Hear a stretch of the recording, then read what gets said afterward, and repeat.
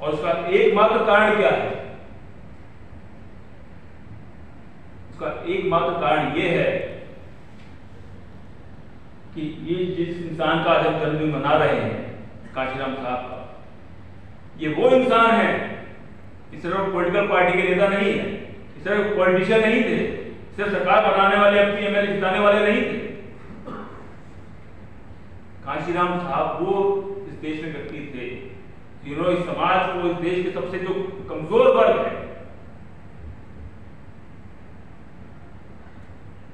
उसको हुक्मरान बनाने की पहल। वरना एमपी एमएलए तो पहले ही बनते आ रहे थे। उस पर पहुँच नहीं पाते। दलित समाज के लोग ही बनते आ रहे थे। उसमें कोई नई बात नहीं थी। चाहे रिज़र्व सीट तो बनते आते थे। बैकवर्ड के लोग भी मुसलमान भी बनते थे। लेकिन सबसे वंचित, सबसे कमज़ोर व्यक्ति आखिरी सीढ़ी का, उसको उन्होंने उठाकर मंत्री सांसद विधायक बनाया उनमें मैं भी हूँ। तो जिस दिन इस महापुरुष के साथ धोखा हुआ 8 अक्टूबर 2010 और 2006 मान लीजिए, लिख लीजिए, उस दिन इस देश में लोकतंत्र बर्बाद होने की नींद पड़ गई जिसका नतीजा आज हम सब लोग देख रहे हैं।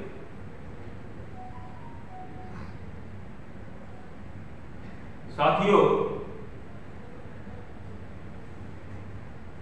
ये जो बात मैंने कही है, कुदरती बात है इनका ऐसा हो गया मैं आपके बीच में बात रखने के लिए? अन्ना दो दिन बाद मालूम चलता मैं कल जाऊँगा मैं साथियों के साथ जाऊँगा। चुनाव आयोग उनको सारे डॉक्यूमेंट लेकर उनको कन्फर्म करूँगा कि आपने हमारे कागज़ कैसे फाड़े? कागज़ कहाँ गए? जब हमारे पास है तो आपके पास क्यों नहीं? उसको जो भी लीगल रिपोर्ट है, जो भी जो भी चीज़ है, उसको हम करेंगे। लेकिन इस बेईमानी को, इस पूरे देश में मैं लेकर चुनाव आयोग बेईमान है, चुनाव आयोग चोर है, या चुनाव आयोग अगर चोर नहीं भी है तो गुलाम या तो चोर है, अगर उसने अपनी मर्ज़ी से किया है, अगर मर्ज़ी से नहीं किया है, दबाव में किया है तो गुलाम हो।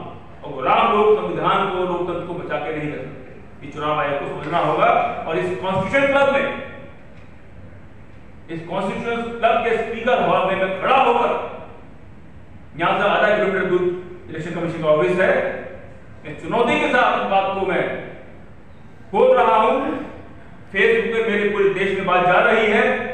आगे भी मैं इसको लेकर जाऊँगा कि चुनाव आयोग या इस देश के लोकतंत्र से खिलवाड़ करने वाले, इस देश के लोकतंत्र को बर्बाद करने वाले, इस देश के संविधान को बर्बाद करने वाले जो भी लोग चाहे वो मोदी हो, चाहे वो आरएसएस हो, चाहे कोई भी हो, हम तुम्हारी ईट से ईट बजा देंगे